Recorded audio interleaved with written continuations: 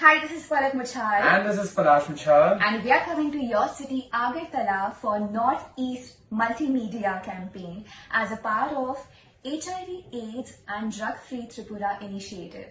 Join us in the concert at Swami Vivekanand Stadium on 25th March evening.